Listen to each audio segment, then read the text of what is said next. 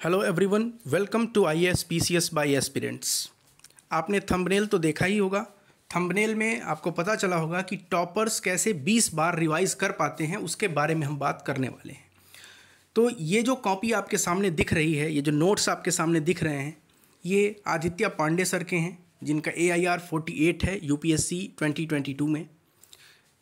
इस वीडियो में हम ये समझने वाले हैं कि कैसे एक टॉपर अपना नोट्स बनाता है, एक शॉर्ट नोट्स कैसे बनाया जाए, उसमें क्या क्या एलिमेंट्स होने चाहिए, और कैसे आप लक्ष्मीकांत को, जो टॉपर कहते हैं कि मैंने 20 बार पढ़ा है 25 बार पढ़ा है तो टॉपर्स कैसे लक्ष्मीकांत को 25 बार पढ़ते हैं, ये भी समझने वाले हैं। लक्ष्मीकांत की किताब आपने देखी होगी, कितनी मोटी सी किताब है। उसको 25 बार अगर कोई रिवाइज कर रहा है, इसका मतलब है कि कुछ तो बात उसमें छिपी हुई है, कोई तो टेक्निक होगा जिसका वो यूज़ कर रहा है। चलिए समय न बर्बाद करते हुए बात करते हैं उसी टेक्निक की। आपके सामने जो स्क्रीन पे दिख रहा है, वो प्रियाम्बल का नोट्स है। ये चैप्टर जो है, लक्ष्मीकांत का चैप्टर है, आपने पढ़ा होगा तो। देखिए कैसे नोट्स बनाया गया है। सबसे पहले इन्होंने बताया है कि कुछ प्रियम्बल के कीवर्ड्स हैं, उसको यहाँ पे साइड में इन्होंने लिखा है, मैं जूम करके दिखाता हूँ आपको। ये देखिए, यहाँ पे इन्होंने बताया है कि कीवर्ड्स कौन कौन से हैं प्रियम्बल में, जैसे राइट्स का सोर्स क्या है? कितनी बार ये क्वेश्चन पूछा गया है कि अधिकार का सोर्स क्या है? तो we the people of India तो जो राइट्स जो अधिकार का स्रोत है, वो है पीपल ऑफ़ इंडिया भारत की राज व्यवस्था कैसी है? तो देखिए, इन्होंने शॉर्ट में लिखा है, आपको भी समझ में आ जाएगा। Sovereign socialist secular democratic republic triple S D R इन्होंने लिखा है। Sovereign socialist secular democratic republic. मैं इसको कैसे रिवाइज करना है ये भी आपको बता रहा हूँ। भारत की सम, भारत के संविधान का उद्देश्य क्या है? तो जस्टिस लिबर्टी इक्वलिटी फ्रेटर्निटी।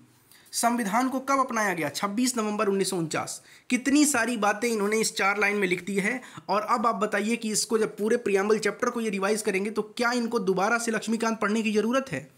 अगर इन्होंने एक से दो बार लक्ष्मीकांत पढ़ी है तो ये बीस बार इसी पेज को रिवाइज करेंगे। और इस पेज को जिसने बनाया है, उसको रिवाइज करने में दो से तीन मिनट लगेंगे। और आप अगर नहीं बना रहे हैं इस नोट्स को, इसी नोट्स से आप पढ़ना चाहते हैं तो इसको भी आप डाउनलोड कर सकते हैं, नीचे डिस्क्रिप्शन में टेलीग्राम चैनल का लिंक है। और इसको आप भी अगर लक्ष्मीकांत दो बार पढ़ चुके होंगे तो पाँच मिनट में इसको आप रिवाइज कर लेंगे। देखिए, बात करते हैं, रिवाइज करके दिखाता हूँ।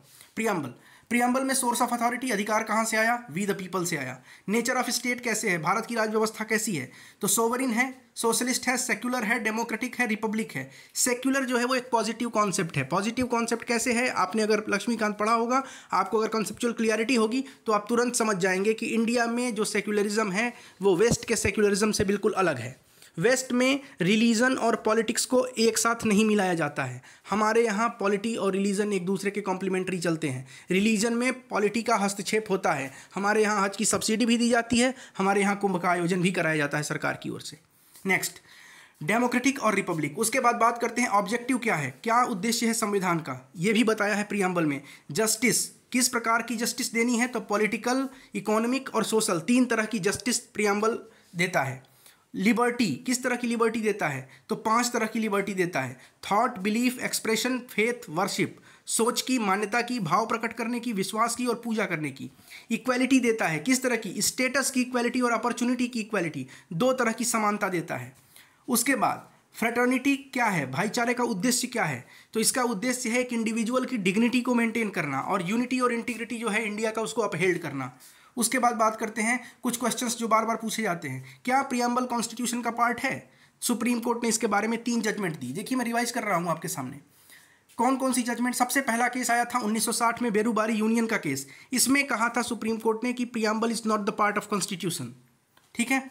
उसके बाद आया केशवानंद भारती केस 1973 इसमें सुप्रीम कोर्ट ने कहा कि preamble is the part of constitution. और एलआईसी केस 1995 इसमें सुप्रीम कोर्ट ने कहा कि preamble is the integral part of constitution. ठीक है? केशवानंद भारती सबसे इंपॉर्टेंट है, आपको पता है बेसिक स्ट्रक्चर डॉक्ट्राइन यहीं से निकल के आया था। उसके बाद दूसरा जो प्रश्न पूछा जाता है कि इज़ कॉन्स्टिट्यूशनल अमेंडेबल क्या कॉन्स्टिट्यूशन को हम संशोधित कर सकते हैं? सॉरी प्रियम्बल को। क्या प्रियम्बल को संशोधित कर सकते हैं? Yes parliament can amend preamble. एक बार अब तक किया गया है। बयालीसवां संविधान संशोधन 1976 आप कमेंट करके बताइए कि क्या क्या चीज़ें ऐड की गई थी। आपको पता होगा, सोशलिस्ट, सेक्युलर और इंटीग्रिटी, ये तीन शब्दों को ऐड किया गया था। ठीक है? उसके बाद बात करते हैं, ऑब्जेक्टिव रिजोल्यूशन, जो जवाहरलाल नेहरू ने प्रपोज किया था, उसी बेसिस पर, उसी बेसिस पर जो प्रियम्बल है इंडिया का वो है।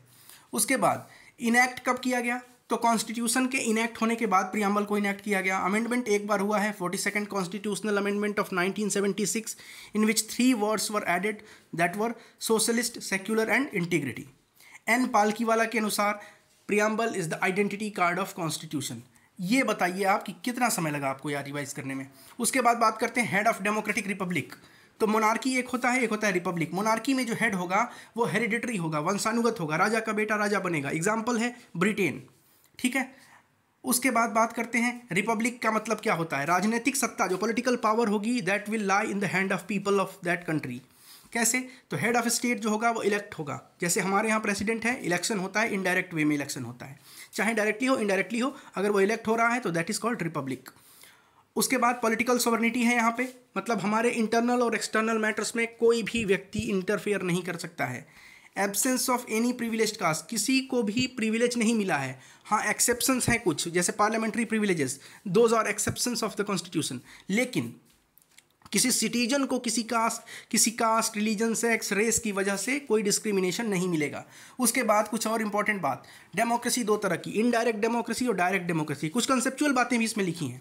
कैसे? डायरेक्ट डेमोक्रेसी इंडिया में नहीं है। इंडिया में है इनडायरेक्ट डेमोक्रेसी डायरेक्ट डेमोक्रेसी के कुछ तरीके होते हैं। जैसे पहला तरीका होता है referendum. What do mean by referendum referendum का मतलब है कि कोई बिल हो, वो तो डायरेक्टली इलेक्टोरल पास देकर पास किया जाएगा। ठीक है? प्लेबिसाइट का मतलब क्या होता है? प्लेबिसाइट का मतलब होता है कि जो भी ओपिनियन होगा, वो जनता के सामने रखा जाएगा वोटिंग कराई जाएगी, जनता जो कहेगी वो काम किया जाएगा। इनिशिएटिव इनिशिएटिव का मतलब होता है कि जब कोई प्रपोजल किसी बिल का लाया जा रहा है तो हमारे यहाँ कहाँ आता है? लोकसभा? राज्यसभा? स्टेट में बात करें तो विधानसभा, विधान परिषद? अध्यादेश भी एक तरीका है, लेकिन कैसे होगा डायरेक्ट डेमोक्रेसी में? जो भी बिल होगा that will be propose by the people of the state वहाँ के लोगों के द्वारा ही प्रपोज किया जाएगा। ऐसा तरीका। नेक्स्ट रिकॉल हमारे यहाँ रिकॉल नहीं है। राइट टू रिकॉल हमारे यहाँ नहीं है। इसकी मांग उठती रहती है।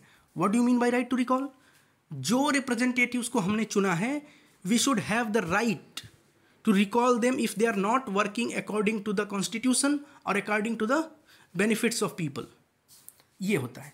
उसके बाद यहाँ पे इन्होंने प्रियम्बल लगा दिया है, आप इसको पढ़ सकते हैं।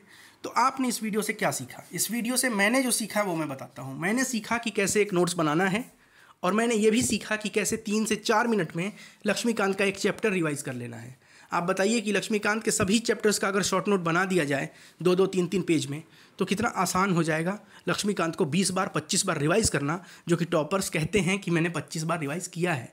और लिटरली वो 25 बार रिवाइज करते भी होंगे बट तरीका ये होता होगा। बहुत बहुत धन्यवाद। थैंक यू सो मच हमारे टेलीग्राम चैनल से आप इन नोट्स के लिए भी जोड़ सकते हैं।